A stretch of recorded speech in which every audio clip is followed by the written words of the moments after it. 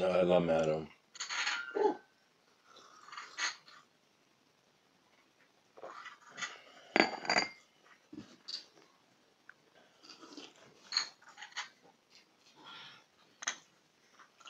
Vad hände då?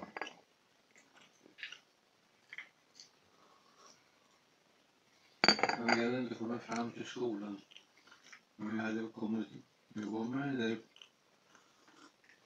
kärrorna och hästarna i alla fall.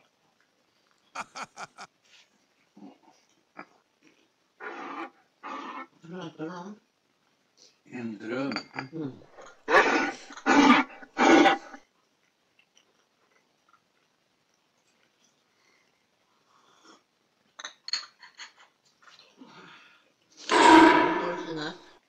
Nej. Vaknade tidigt. Ja. Kissnödig var jag som början. Madrassen bra. Ja, det funkar skitbra. Hur månader ska ni ha? Ska vi ta en till? Ja, ja jag tror det är tre var. Jag vet tre, det är två var. Mm. Det blir bra.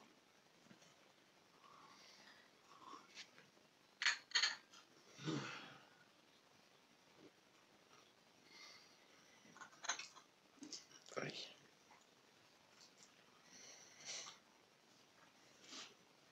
ditt kaffe.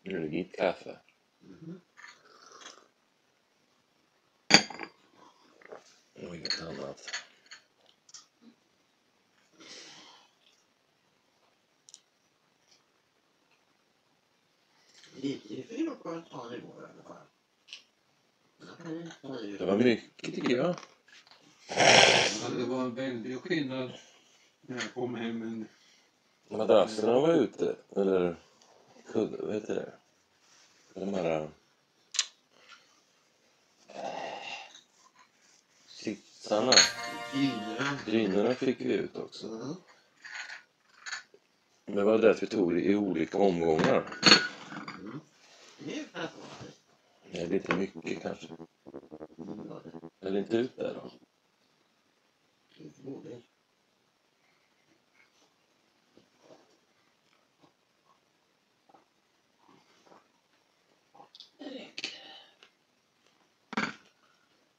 Jaha.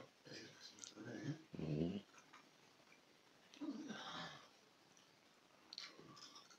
Försvann drömmen nu? Jag sitter som ett trans.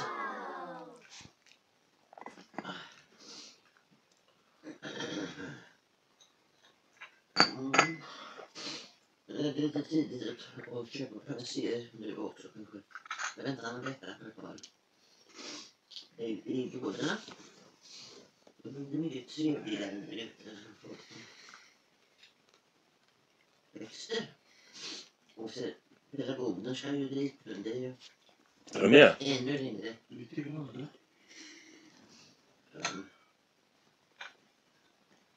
Ja. Vad roliga nu när de var kalla. Och... Inte klokt alltså.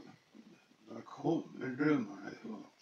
Han är inte van att drömma gubben. Nej, inte så jag kommer ihåg det. eller? Nej men alltså, jag har sagt det. Onyxen har, när man håller på och hänger med den här svarta onyxen så ger den lite processorkraft. Så att det du tänker blir mer. Och den svarta funkar på ett sätt. Och den vita som jag har, den här runt halsen, Ja. de är lite annorlunda för de är lite ljusare i energierna på något sätt. Den svarta onyxen är ju liksom... Du hade mardröm igår sa du. Katterna. Mm. Ja, det var, det var otrevligt. Mm. Jag hade ju, när jag tog in den här svarta onyxen, stenen, nat- naturstenen, fick jag mardrömmar. På något, alltså, det var så sant, det var, det var så, det var det värsta jag med om. Men då var jag beredd, för då hade jag läst om att förr i tiden var de rädda för, för den här stenen för att det var så. Har du? Men, eh, ja. Det är en kristall som är silikonbaserad. Och det är ju energi i den där. Det är liksom Man ser så mycket på TV. Och Jo, men alltså de håsar, de håsar sig själva. Det inte handlar inte om någonting. Man kan använda det på ett väldigt sublimt sätt. Man, man behöver inte... Jag jag bara toaletter. Har du drömt om toaletter? Nej, jag gjorde det alltid förr. Alltså. Att jag bara sprang och letade.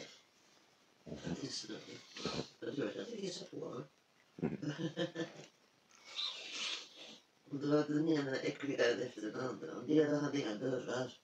Så nej, här kan jag inte vara. Här blir jag så smutsig. Och det någon...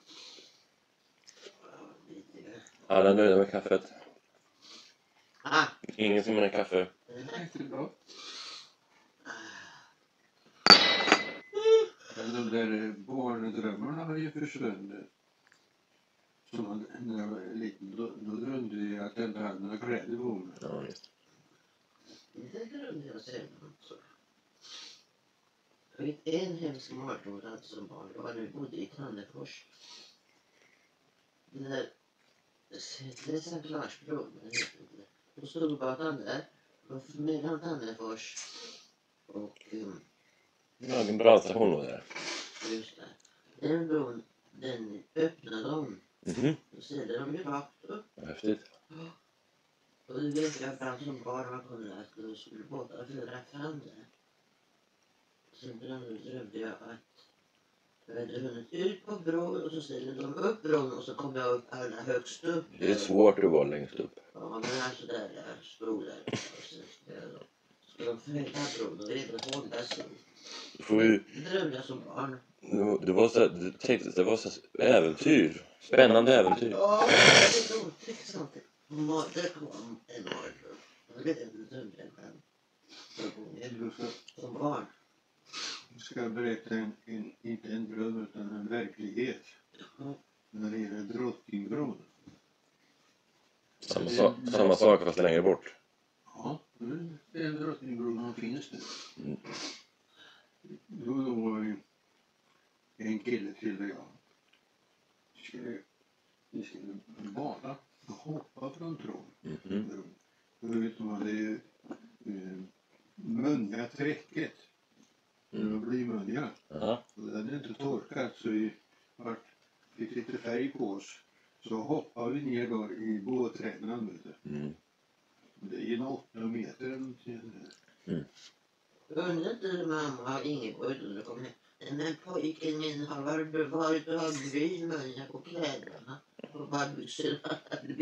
Och det var badbyxor på det Stod det där med brynmunjad? Då var ju, då var jag ju, då var Leif och jag. Och, eh, Tonåring. ja, jag, måste ha varit det. Mm, det var tillåtet va? Nej. Hej. Gubben. Du gjort sånt. Men eh, jag, jag, jag lärde mig ju simma när jag var sex år i simskolan. Mm. 1938. Då öppnade de Tinnebäcken, spadet. Då var det sand. Och borta då, Det var häftigt. eh, där Kerstin bodde, där var det ju vita sand. Men simskolan den var ju närmare Sventorsgatan. Där har jag också gått i simskola. Man gjorde Torrsim först. torrsim. ja. Ett upp gräsmattan. Sen Då fick man gå ner till bryggan. Men sen så, så skulle man ju visa upp sina simkunskaper. Då höll man ju på i djupa bassängen. Då hoppade man från en sockerbit som var så här hög som sängen ungefär. Och så skulle man simma 25 meter, Mm. halva sträckan. Och eh, när man hade gjort det så skulle man stanna där och så skulle man trampa, trampa vatten. Sex år. Ja. En, en, Ja, bra. och då fick man badbyxor. köpa badbyxor, röda badbyxor. Vidare, vidare.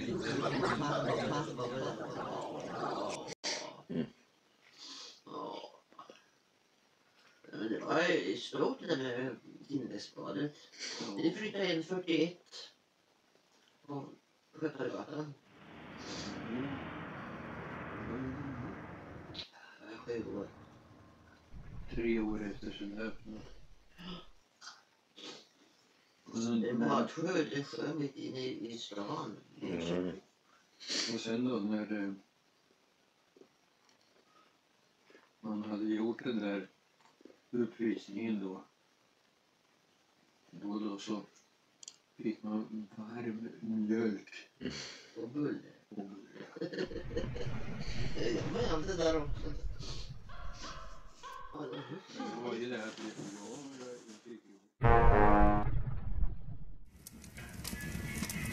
on knee, left,